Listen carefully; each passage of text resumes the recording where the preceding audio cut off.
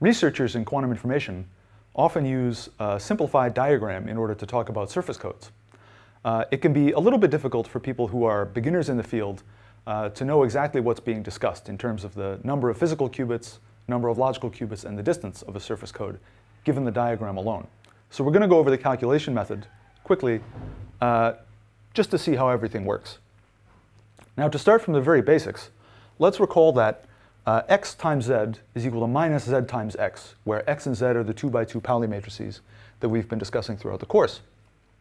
Uh, we can very quickly, and um, if you're not following along, don't worry about it, uh, we can define stabilizer codes to be a set of code states psi in the code C, uh, such that s times psi is equal to psi for every operator s in a big S, which is a set of stabilizer operators.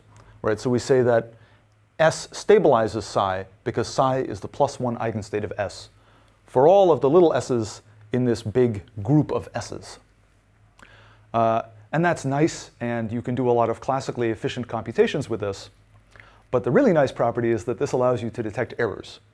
Let's assume that, uh, first off, each of these s's is going to be some multi-qubit Pauli operator, and that E, uh, an error that may or may not have occurred, is also a multi-qubit Pauli operator. What happens if we try to measure S, and there's an E here that anti-commutes with S the same way X does with Z? Uh, if you go through this math for some specific example, or if you do it in general using only the fact that E times S is equal to minus S times E, and that E squared, like all multi-qubit Paulis, is the identity, you'll end up getting minus 1. Now, if this error had not occurred, right, not producing the state E psi, but rather psi, this would be plus 1. And this means that as long as we're working with a stabilizer code, errors are going to have a physically measurable effect on the system. So, how do we make a surface code? We begin with a square array of qubits that we lay out here, and then we start defining stabilizers. Here's a weight 2 stabilizer of the form ZZ on these two qubits.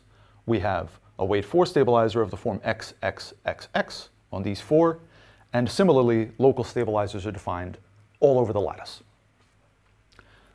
This arrangement of stabilizers and data qubits becomes this surface code picture, and typically uh, people will include a little legend to let you know which of these uh, letters corresponds to which of these colors, uh, because it's not clear uh, a priori.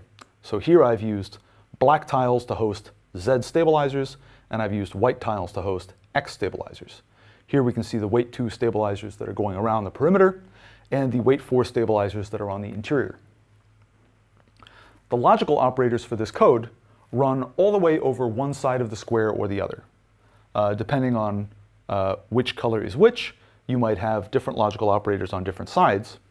But here, the logical Z operator runs down the right side of the tile, and the logical X operator runs across the top. And they're both weight 3, because we're dealing with a 3 by 3 square. How do you calculate n, k, and d for a surface code? n is simply the length in the x direction times the length in the z direction. So in this case, it's 3 times 3, which is 9. An important thing to remember is not to count the number of squares that are in a row, but rather the number of qubits that are in a row. So here we have 9 total. K, the number of logical qubits, is always 1 for these codes. Uh, there are some ways to get k not to be 1, but they are too advanced to cover in this course. And d, the code distance, is the minimum side length of this square, which is you know, either Lx or Lz, whichever is smaller, the minimum, and in this case, that's 3. So as you can see, uh, square tiles are nice when uh, error rates are equal and you want to have equal distance for both x and z logical operators. You.